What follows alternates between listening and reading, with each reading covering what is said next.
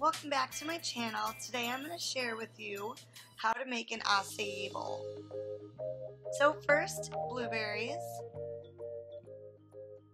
And then you'll need a couple of bananas. And then mixed berries of your choice and some strawberries. And then add some chia seeds. And then you can use coconut flakes. And then some granola. And this is coconut almond granola. And then your choice of coconut milk or coconut water. And then of course, the acai berry.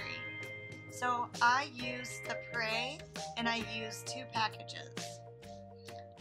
So I'll just use in my blender, I'll put some coconut water and some coconut milk. And then I will use a couple packets of the acai berry blend. And then I'll use a couple of bananas. And then I added some mixed berries. And then I'll use some chia seeds. And some coconut flakes. Then I put that to mix on high speed for a couple of seconds.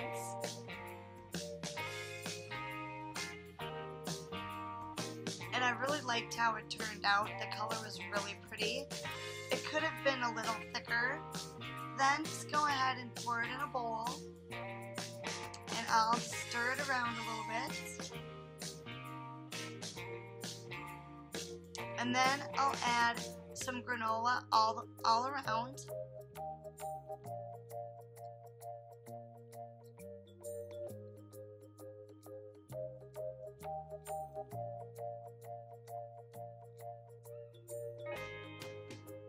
And then on one side, I'll put some coconut flakes. And you can do it however you want, but this looked really pretty in the final result. Then I added blueberries on the other side.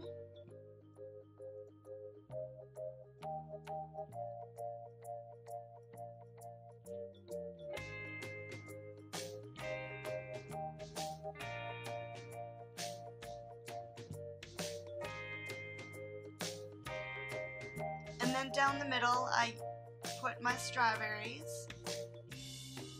And the colors were really, really pretty.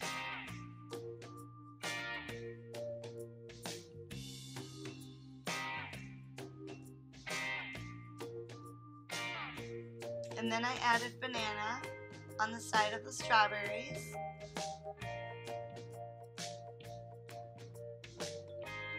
And then I went ahead and sprinkled on my chia seeds.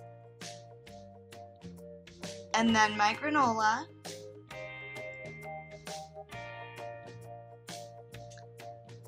And there you have it, an awesome acai bowl. I think it turned out really, really well, and it tasted awesome. So thanks for watching, and I hope you enjoyed. Feel free to subscribe to my channel and check out all my social media, and I'll just see you in my next video.